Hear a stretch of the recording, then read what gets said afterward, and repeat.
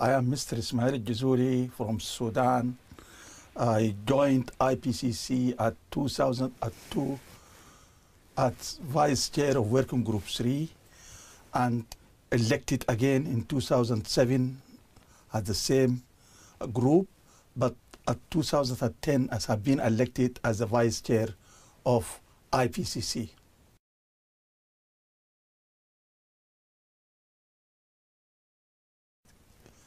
These 25 years, as I said, is very rewarding to me and to IPCC itself. 25 years for IPCC now is grown, but there are major achievements since the first assessment report, which uh, brings the, the UNFCCC or the, the United Nations Framework Convention into approval. Uh, as a result of that first assessment, the second assessment report brought uh, Kyoto Protocol. The third and fourth assessment, the third assessment report brought these regional issues, and the fourth assessment got a Nobel Peace Prize jointly with Al, Al Gore, and this is a very good achievement for a scientific uh, body to be recognized by this uh, respectable uh, prize. IPCC also help developing country and especially uh, least developing countries in having this scholarship program, although it is very small, but it helps uh, these developing countries, the, their young scientists, to have more courses so as to be the future, uh, future uh, IPCC lead authors.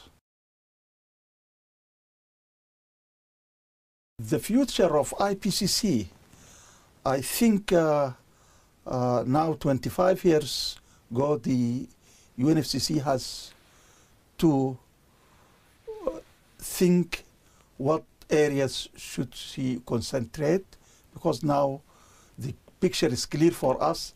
We have to concentrate in certain issues, whether at the level of region, regional aspects, whether uh, looking into more suspense issues like sustainable development uh, uh, and they should concentrate on on more specific issues rather than general reports like now. This is what this is a personal view, but this does not mean that they neglect the national reports, the, the, the, the, the their assessment, but look in more uh, specific uh, issues and more uh, vulnerable uh, areas or sectors.